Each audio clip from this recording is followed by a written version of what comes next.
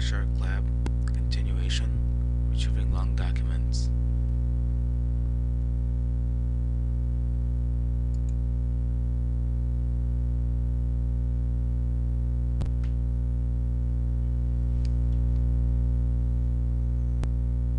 Okay, start capturing the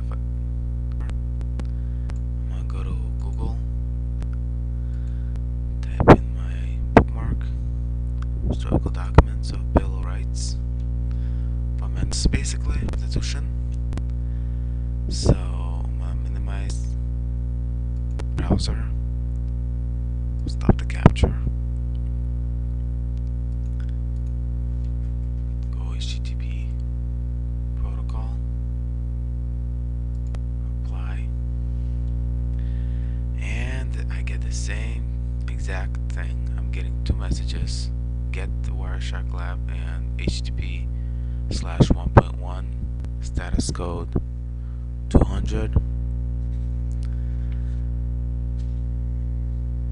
and I see only one HTTP get file packet I mean sent by, by my browser. And how many containing TCP segments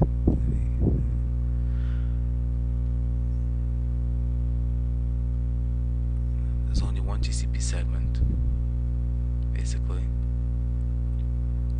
My status code is 200 HTTP get and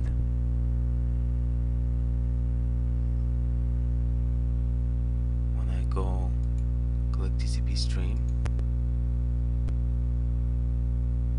I see a message going to document, Bill Rights, with HTML code built in already, showing how the document was displayed from a website, from a notepad basically, to a website converted with HTML language. So,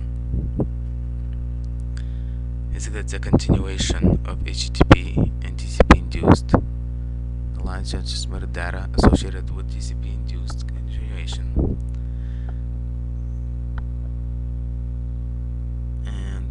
Basically use HTML language to transmit through over TCP server from TCP server to my my local computer. And that's it. See you next time.